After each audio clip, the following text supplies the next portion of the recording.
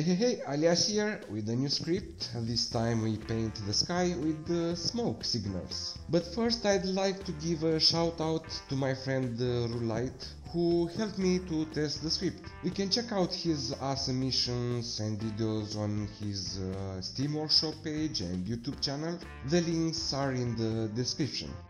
Another shout out goes to LOL community who kindly provided the dedicated server for testing. So if you are looking for a group to play Arma and have fun with, uh, you can uh, join LOL via their Steam group page. Here you can find information about uh, the modes they use and their TeamSpeak and Arma server. Again, link is in description.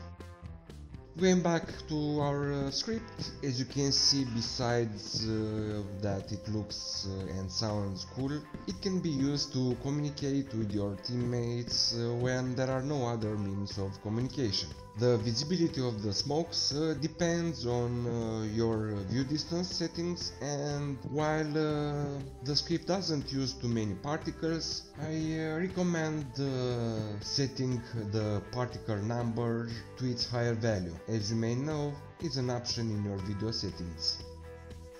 This script uh, works pretty much with all guns that have uh, grenade launchers. However, when uh, used with mods, you might have uh, surprises if the class names of the small grenades are not uh, canonical and they have random names.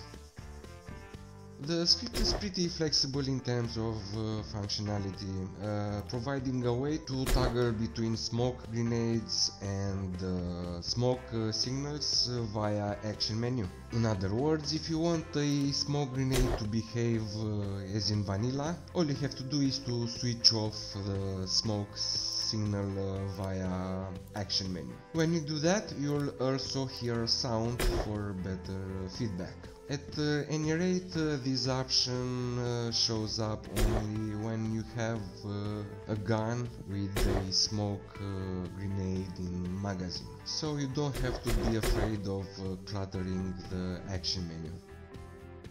The script also provides a way to generate a smoke signal by hand on the fly.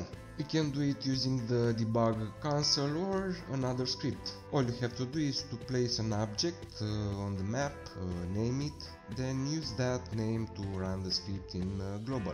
You will also need uh, to specify the color you want for the smoke signal. In this case, uh, I used the color red. You can see an example in my demo mission for running the script uh, via init.sqf. Now let's have a look on parameters. If you open up a smoke signal uh, txt file, you'll see the syntax for the script um, that uh, generates smoke signal by hand uh, via another script or as I said debug console. We have here the name of the object and the color which must be between quotes. As option for color we have white, red, blue, green, orange, yellow and purple. For smoke grenades we have uh, to open uh, init player local sqf. Here we have an array from where you can remove or add uh, class names of the grenades you wanna use as smoke signal. Currently I have here all vanilla smoke grenades, I think. Then we have a variable that sets the duration of the smoke, uh, currently set to 15 seconds, but you can prolong or shorten the duration as you need.